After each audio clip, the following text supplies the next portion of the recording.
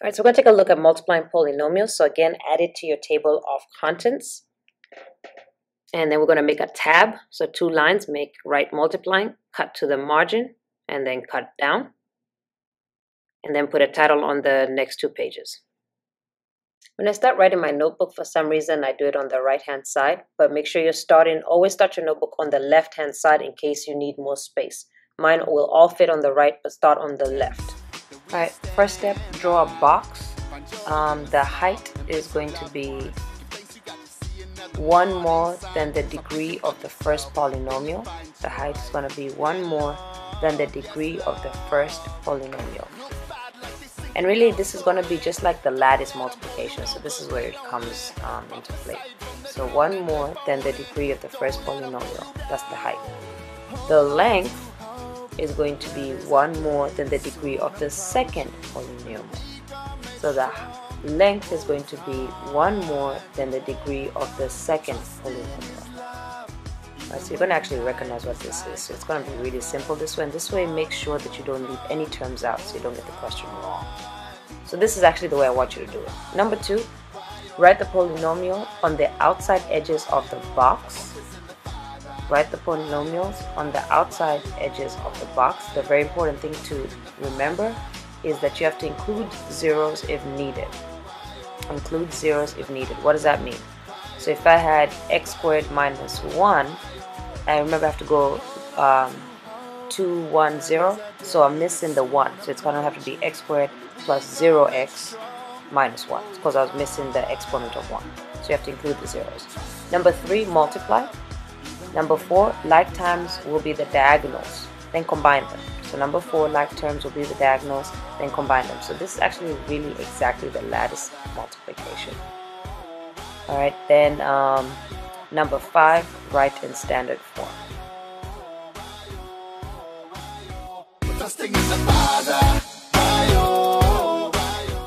So first example, if you had 2x minus 3 times 4x squared plus 6 minus 6.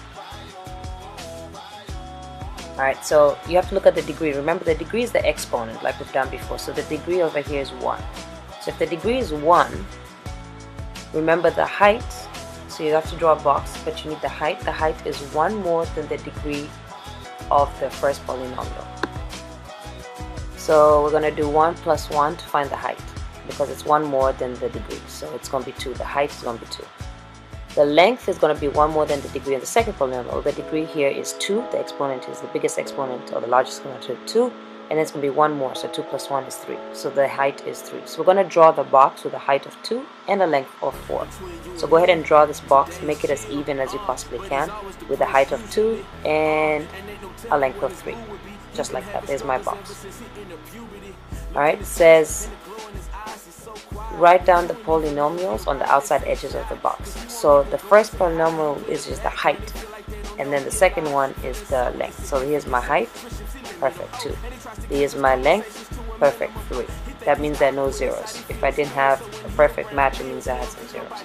Like times, you're going to multiply like times with the diagonals. So multiply, that's going to be 4x cubed. That's going to be 2x squared. Remember, don't forget to add the exponents with the x's. Negative 12x squared negative 3, negative 6, positive 18. Okay, now like terms will be diagonals, combine them. So I'm going to take colors here so I can show you what they are. So I'm just going to draw diagonals. I'm going to do different colors. Diagonals on different colors so that you can see them. All different colors on my diagonals. Alright, and that's what it is, combine them. So purple's by itself, combine the blues, that's Tigers versus Trojans, Tigers win by 10.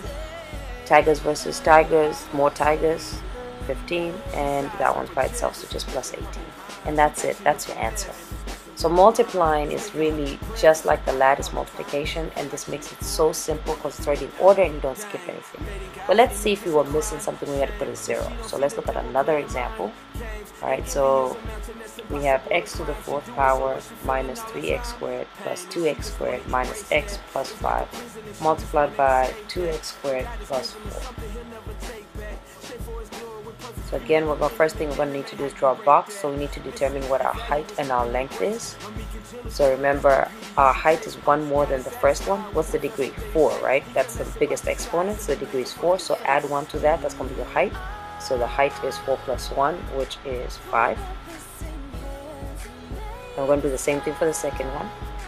The length is 1 more than the degree of the second one. So the second one, the highest exponent is 2 and we're going to add 1 to that so 2 plus 1 which is 3 that's your length so now we're going to draw our box. So the height is going to be 5 so 5 lines. 1 2 3 4 5 5 lines and we need 3 1 2 3 make your boxes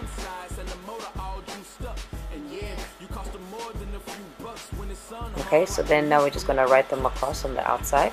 And we're going to count to make sure that they have enough. So this one says that only five boxes means there should be five terms. That one says there are three boxes should be three terms. So you can see we're missing something. Write the polynomials on the outside edges of the box. Be zeros if you include zeros if you need. So we're going to be careful when you write this down because it's not matching so it's going to go 4 3 2 1 0 so this one's actually okay because it has all of the terms 4, 3, 2, 1, 0. And I'm talking about the exponents. On this one, it should have 3, but it only has 2. So there's 1 missing, and it's between, it should go two one zero So I was missing the 1. So now you make sure you put the 0x. That's going to be the biggest thing. Multiply, everything else is easy. The biggest thing is just going to remember the, with the 0. Add the exponents, so it's the 6. Add the exponents, so to the 5, but it's 0, so it doesn't matter. And just 4x to the 4th power. Alright, so negative 6, and then add the exponents, so to the 5 negative, well 0, add the exponents to the 4, and then negative 12 x cubed. Uh, 4, add the exponents to the 4, 0, add the exponents to the 3, and 8 x cubed. Let's go ahead and correct that. So negative 2x at the exponents of the 3, uh, 0x at the exponent squared, negative 4x. Last one, 10x squared, 0x and 20. Alright, so the light tabs are the diagonals and you're just going to combine them.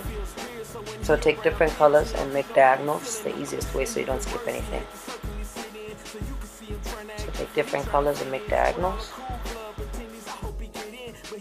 Listening check, listening check, shading the boxes with where it says example 1 and example 2 on this page. Shading the boxes where it says example 1 and example 2 on this page. Then we're just going to combine them right now. So we'll start from the left hand side. It really doesn't matter, put it in order. So 2x to the 6 by itself. Then combine the blues, negative 6x to the 5. Combine those, that's 8x to the 4 combine those tigers meet tigers so negative 14x to the 3 then trojans meets trojans that's 18x squared. And then that's just negative 4x and that's just plus 20 and you're gonna notice it's already in order. It goes 6 5 4 3 2 1 and 0 so that's perfect. That's it. I'll do just one more example and then you should be good to go. So example 3 we're going to have 6n cubed minus 6n minus 5 times 7n squared minus 5n plus 3. And I'm just going to use a space right here on the right hand top because I, I haven't used it. So draw box, height is 1 more than the polynomial, though the length um, is 1 more. So what's the degree? There's 3, so we're to height is add 1, so it's going to be 4. So I need to have 4 terms. And I don't. you can see you only have 3, so you know you're to have a zero one. Degree here is 2 plus 1 is going to be 3 and you have 3 terms so that's going to be perfect. So the first one has a 0 in it so you have to go 3, 2, 1. So let's draw a box. So 4 versus 3. 1, 2, 3. Let's go ahead and make it. Write the polynomials on the outside edges of the box. Make sure you include those zeros. Alright, so first one, you'll see there are four, so I'm missing one. Which one am I missing? Let's go 3, 2, 1. I'm missing 3. I'm missing 2. So it's going to go 6 and 3, 0 and 2, because I'm missing the 2. Then negative 6n, and then negative 5. So I got all of them. Then this one has 3, so it's perfect. 7n squared minus 5n plus 3. Alright, go ahead and multiply and the like terms is the diagonals. So multiply, that's 6 times 7, that's going to be 42, n and add the exponents 5. Negative 30, n add the exponents 4.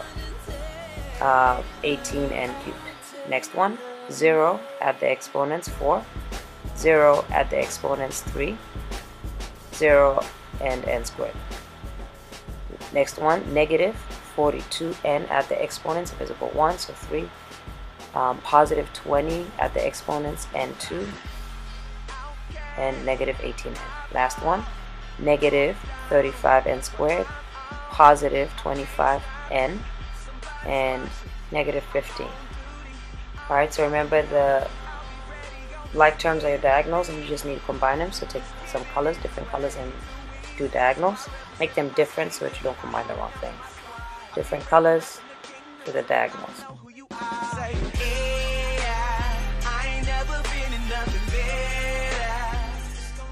Alright, starting on the left because I'll be the highest exponent, 42n to the fifth power.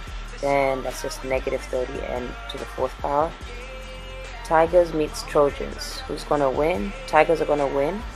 I'm just to do it on the side here, 42 minus 18 and they're going to win by 24 and to the third power and then Tigers versus Trojans again Tigers win by 5 n squared uh, Tigers versus Trojans. Trojans win by 7 n and negative 15 so notice it goes 5 4 3 2 1 0 and the exponents that is. And that's it. So let's get some practice in let's make sure we get really good at this because it's really easy